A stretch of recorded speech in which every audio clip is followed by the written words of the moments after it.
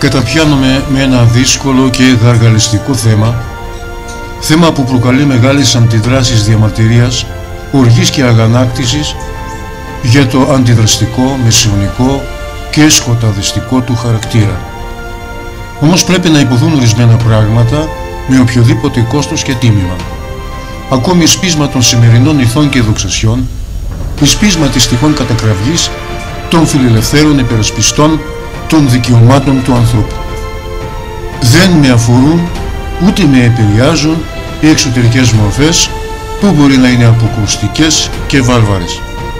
Καταπιάνουμε πάντα με οποιοδήποτε γεγονός που συνέβαινε ή που θα συμβαίνει στο εσωτερικό επίπεδο του, όπου κρύβεται η όντως αλήθεια του οποιοδήποτε πράγματος και γεγονότος της οποιασδήποτε εποχής. Θέλω να μεταφέρω εδώ την αλήθεια για την Ιερά Εξέταση, στο άκουσμα της οποίας μας δημιουργούνται λόγω της κεκτημένης ταχύτητας εικόνης φρίκης που μας έχει εμφυτεύσει το εκπαιδευτικό σύστημα, το οποίο με τη σειρά του υπηρετεί πιστά τα συμφέροντα της κάθε επικρατούσας ιδεολογίας και φιλοσοφίας και επικρατούντος κοινωνικού, πολιτικού, οικονομικού συστήματος. Πριν ας δούμε τι έχουμε μάθει περί της Ιεράς Εξέτασης από τα σχολεία. Αυτά τα γενικά αναμορφωτήρια των συνειδήσεων στις επιταγές των επικρατούντων συμφερόντων του φιλελευθερισμού. Μάθαμε λοιπόν για το σκοταδισμό και την βαρβαρότητα του Μεσαίωνα, για τους αιρετικούς που ρίχνονταν στην πυρά, για τους μαζικούς θανάτους εκατομμυρίων ανδρών και γυναικών που είχαν αντίθετη άποψη από την επίσημη επικρατούση της Εκκλησίας. Για να στηριχτεί αυτός ο ισχυρισμός περί βαρβαρότητας της Μισιονικής Εκκλησίας, Αναφέρονται και τα θύματα των απάνθρωπων διωγμών ή λαμπροί επιστήμονες της εποχής όπως Τζορντάνο Μπρούνο και ο Γαλιλαίος. Αναφέρεται ότι απαγορεύονταν η διενέργεια της νεκροψίας, πράγμα που καθυστερούσε την εξέλιξη της ιατρικής επιστήμης. Π.χ. ο διάσημος γιατρός της Μεσαιωνικής Ρώμης, ο Βεζάλεος, λόγω απαγορεύσεως διενέργειας οποιασδήποτε πράξης επί του πτώματος, έκανε κρυφά νεκροψίη σε πτώματα, τα οποία αυτός προμηθεύονταν από τους διάφορους αλήτες που για ένα χαρτζιλίκι πήγαιναν τη νύχτα στα απομονωμένα νεκροταφεία και εξέθαβαν τα πτώματα και τα πήγαιναν στο Βυζάλιο. Όταν μαθεύτηκε το γεγονός, ο Βυζάλιος κατόπιν της δίκης υποχρεώθηκε ως τιμωρία να πάει πεζός από τη Ρώμη στους Αγίους Τόπους, να προσκυνήσει και να εξηλιωθεί, πράγμα που έγινε. Ερώτημα. Έγιναν οι μαζικές εκτελέσεις εκατομμυρίων ανδρών και γενικών. Έγιναν οι διωγμοί και εκτελέσεις των επιστημόνων; Απάντηση. Ναι, έγιναν. Και έγιναν με απίστευτη σκληρότητα και επιμονή. Ερώτημα. Γιατί έγιναν; Η απάντηση βρίσκεται στο παρόν άρθρο. Παράκληση να ακουστεί προσεκτικά και χωρίς αναστολές, διότι θα θυχτούν πολλά πράγματα που δεν συμφέρουν την ψυχοσύνθεσή μας, που δεν συμφέρουν την κεκτημένη φιλελεύθερη νοοτροπία μας.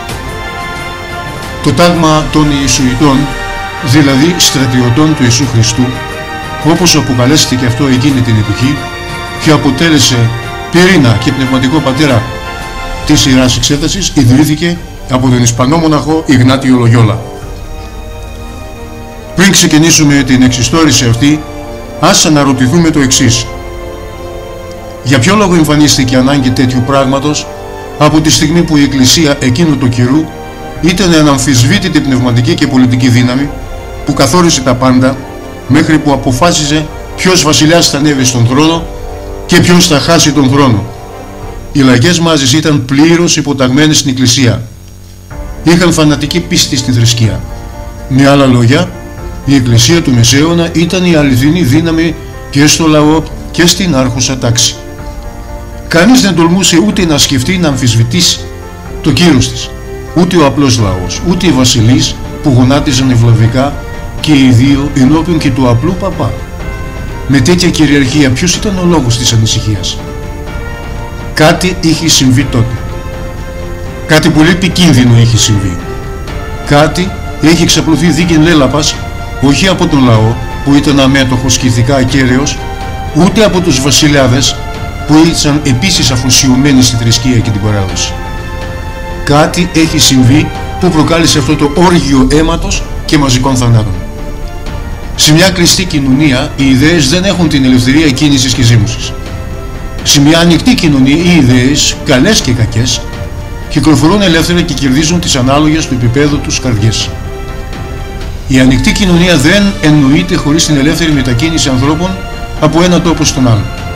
Ποιος στο μισέωνα με περιορισμένα μέσα μεταφοράς μπορούσε να μετακινείται συνεχώς; Ο απλός λαός κολλημένος στη γη που την καλλιεργούσε και δεν είχε ούτε τον χρόνο ούτε τα μέσα να περιφέρεται από εδώ και από εκεί που είχε τις σκοτούρες του της καθημερινής εξασφάλισης τροφής για την οικογένεια και βέβαια όχι.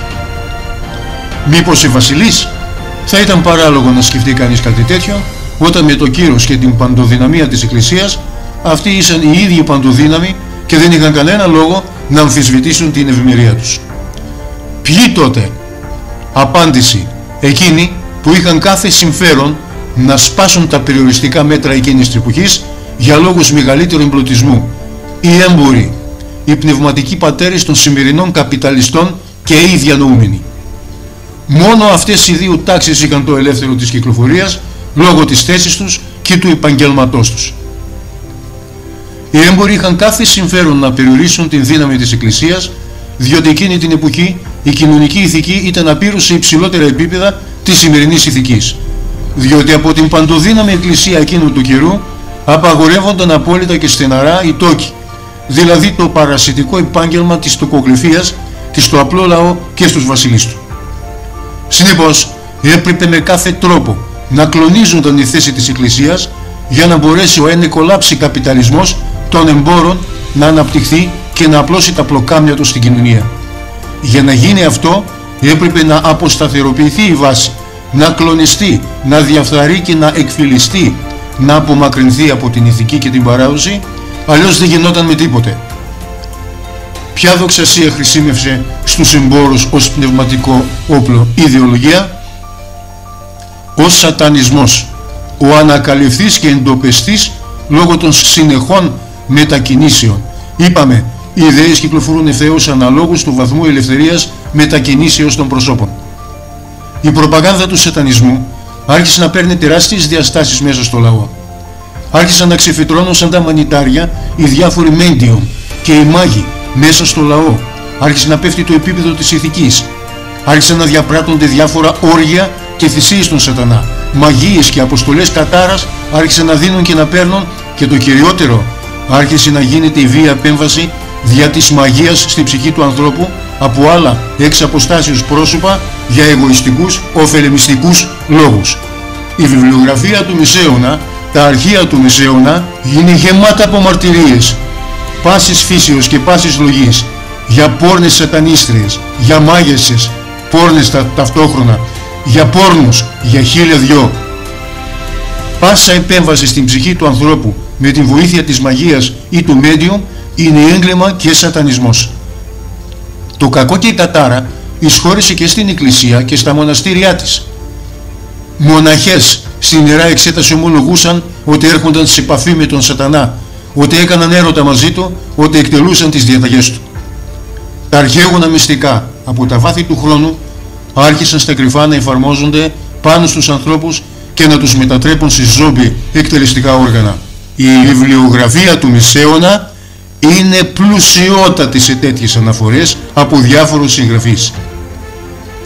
Η Εκκλησία έχει μόνο μία επιλογή.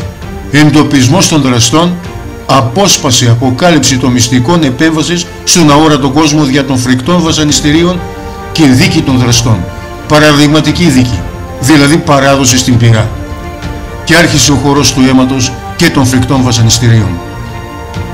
Μάγισσες και μάγοι, medium, και αποκρυφιστές διαφόρων τάσεων και δοξασιών, διανοούμενοι που πρώτοι έρχονταν λόγω μόρφωσης εκ των πραγμάτων σε επαφή με τέτοιες δοξασίες, παραδίδονταν μαζικώς στην πυρά.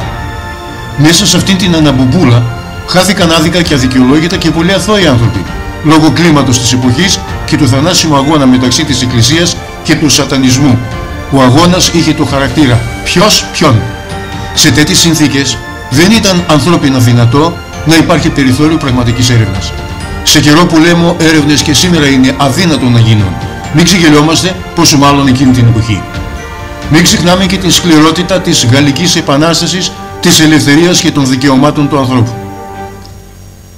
Και αυτή η Επανάσταση βαραίνεται με εκατοντάδες χιλιάδες θύματα και μαζικές εκτελέσεις, όπου δίπλα στη σκληρότητα των βασιλικών υπήρχε ακόμη μεγαλύτερη σκληρότητα των δημοκρατικών. Ολόκληροι πληθυσμοί κυρίως της Νότιας Γαλλίας, παραδείγματος χάρη περιοχή της Βανδέας, εξολοθρεύτηκαν πλήρως για τις γενοκτονίας επειδή υποστήριζαν την βασιλική εξουσία τότε. Τα πράγματα αναλέγονται με το όνομά τους. Ο σατανισμός ξεριζώθηκε με μεγάλο κόστος πάρα πολύ μεγάλο. Για το όργιο αίματος και της φρίκης ευθύνεται ο σατανισμός που τον καιρό του Μισέωνα αποπειράθηκε να σηκώσει το κεφάλι. Αυτός προκάλεσε την γέννηση της Ιεράς Εξέτασης. Πάνω στη συνείδηση του κρέμονται εκατομμύρια θύματα των δικαίους και αδίκους θανατοθέντων ανθρώπων, λόγω του αγώνα και από τις δύο πλευρές, που πήρε τον χαρακτήρα ποιος ποιον. Σκεπτόμενος σήμερα τα γεγονότα εκείνης της τραγικής εποχής, αναρωτιέμαι το εξής. Τι θα γινόταν αν η Ιερά Εξέταση θα κρατούσε άλλους δύο ακόμη αιώνες; Η μόνη λογική απάντηση που έρχεται στο μυαλό είναι η εξής. Αν η Ιερά Εξέταση θα κρατούσε άλλους δύο ή τρεις ακόμη αιώνες, δεν θα είχαμε σήμερα ούτε πυράβλους ούτε αεροπλάνα. Δεν θα είχαμε σήμερα ούτε τα αυτοκίνητα ούτε τα διαστημόπλαια.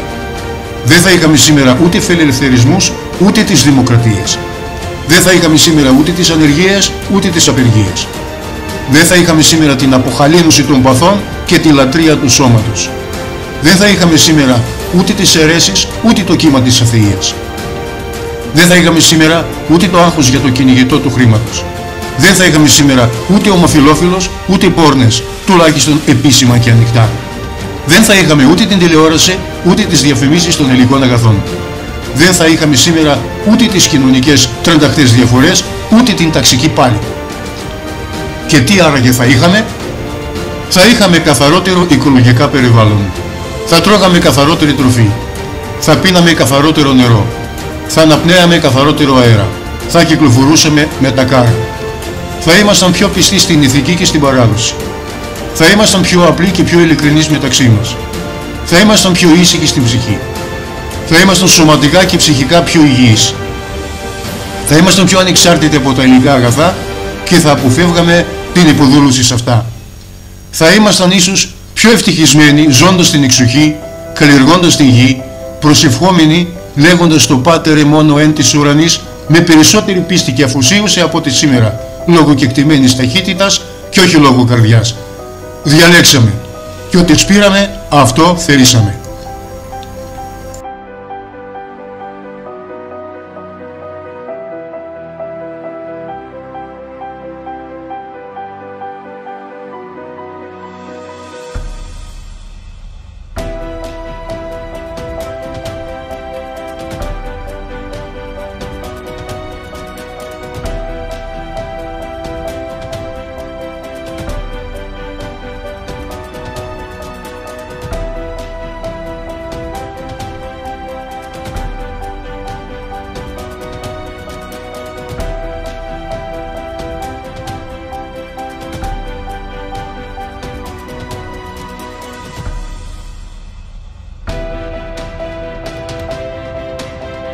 Επειδή είμαστε κακοήθεις και αδιόρθωτοι αιρετικοί, άρα ανθρωποτινά ηθικός και πνευματικός παράνομοι,